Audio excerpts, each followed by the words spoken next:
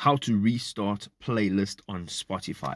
Ladies and gentlemen, good day. If you are a Spotify user, this is the video you want to watch. So let's jump straight in. You have started a playlist, you want to restart that playlist. Now, if you're a premium user, this is easy. All you have to do is go down to your library, which is the icon right at the bottom. Second from the right, you're going to tap on that. And here you can choose the playlist that you want to actually play. And you can go ahead and you can freely select the first song of the playlist, which would be the very top one here, the Guru.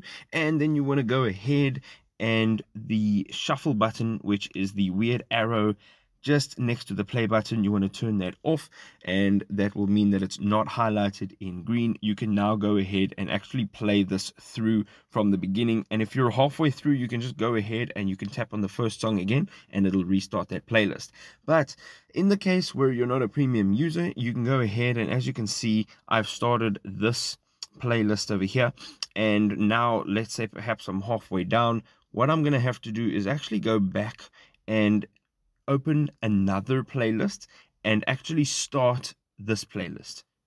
Now, once I push play on this playlist, it'll start a song, and that means that the memory of the previous playlist that you were listening to has been reset, which means when you go back into the playlist, you'll be able to push play and it'll start from the beginning again. So, just to recap, make sure that you are opening a different playlist and then going back to the playlist you want to restart and it'll naturally restart that playlist from song number one.